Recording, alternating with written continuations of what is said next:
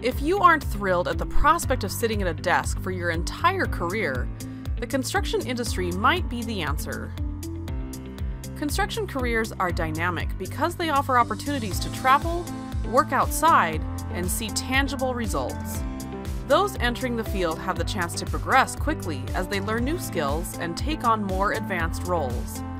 This course, Building Maintenance Technology 2, contributes to a strong foundation of basic construction knowledge, diving into key construction subjects including materials, masonry, plumbing, concrete, and safety.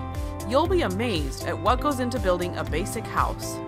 Students who complete the course will also be giving their resume a boost and demonstrating to future employers their knowledge and commitment to the construction career path.